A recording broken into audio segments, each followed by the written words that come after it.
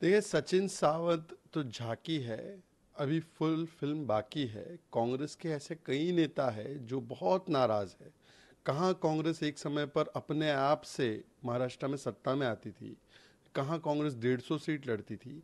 अब कांग्रेस को cut cut कर कट कट कर 85 सीट से संतुष्ट करना पड़ रहा है। एक आध दो सीट ज़्यादा मिल गई तो ठीक है। रोज उद्धव ठाकरे जी की पार्टी बोलती है, हम ही मुख्यमंत्री चेहरा देंगे, हम ही मुख्यमंत्री चेहरा देंगे। तो कांग्रेस पार्टी के साथ बहुत बुरा हो रहा है पूरे देश में। मतलब वाकई कांग्रेसी बनना आज आसान काम नहीं है। जम्मू कश्मीर में उमर अब्दुल्ला ने उनको देखो किस प्रकार से, एक प्रकार से उनको बता दिया, उनकी हैसियत क्या है। फिर उत्तर प्रदेश वाले वैसे तो बहुत अच्छा अच्छा बात बोलते हैं अखिलेश जी उनके लिए, पर टिकट एक भी नहीं देते, नाइन सीट पे अपने ही सिंबल से लड़वा रहे हैं। महाराष्ट्र में उद्धव जी ऐसा कर रहे हैं। लेफ़्ट पार्टी जो है वो प्रियंका जी के खिलाफ कैंडिडेट दे दे रही है।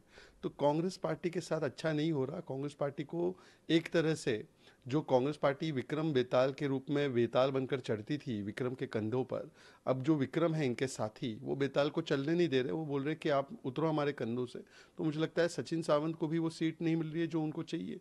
और ऐसे कई सारे कांग्रेसी बहुत नाराज़ चल रहे हैं, पूरे इंडिया अलायंस से भी और एमवीएस से भी। अल्टीमेटम दिया है कि अगर मुझे पाँच सीट नहीं मिली, मैं जो जो सीट मांग रहा हूँ, वहाँ पे उन्होंने उम्मीदवार दे दिया है। ऐसे में कोई रास्ता नहीं बचता है, हम ट्वेंटी फाइव सीट्स पे कैंडिडेट खड़ा करेंगे देखिए, समाजवादी पार्टी और कांग्रेस पार्टी, इनका जो गठबंधन है, इनका जो रिश्ता है, हमने उत्तर प्रदेश में तो एक, उसका परिचायक देखा ही है कि बिना पूछे कांग्रेस पार्टी को एक भी सीट दिए बगैर, नौ सीटों पर अपने सिंबल पर लड़वा रहे हैं। अब कांग्रेस पार्टी इसका बदला जो है शायद महाराष्ट्र में ले रही है, क्योंकि वो चाहती है कि अखिलेश जी ने जिस प्रकार से उनको बदनाम और बेइज्जत किया है तो महाराष्ट्र में वो चाहते हैं कि थोड़ा एसपी को उनकी हैसियत दिखाई जाए। और एम जो है, ये महाविकास अघाड़ी नहीं, ये महाविभाजन अघाड़ी है। वहाँ पर सब लड़ाई झगड़ा ही चल रहा है। कोई मिशन विशन नहीं है, सब अपने अपने एम्बिशन के लिए है।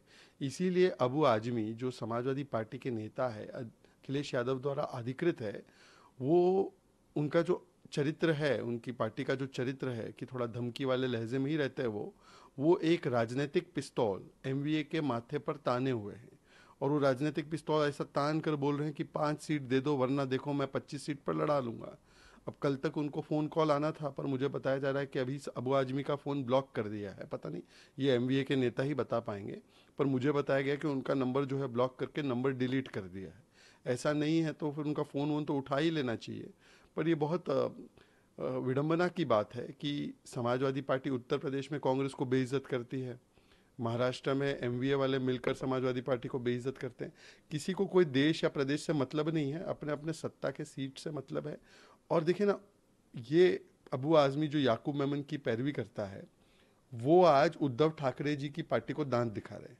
मतलब वो दे, कह रहा है कि देखो हम पाँच सीट नहीं मिलेगी तो पच्चीस मिलेगी। और उद्धव ठाकरे जी की पार्टी, जो बड़ा हिंदुत्व का शेर हूँ, हिंदुत्व का शेर हूँ, ये बोलती है, अब वो इनके दांत दिखाने पर डर भी रही है। तो ये भी एक अलग कहानी है।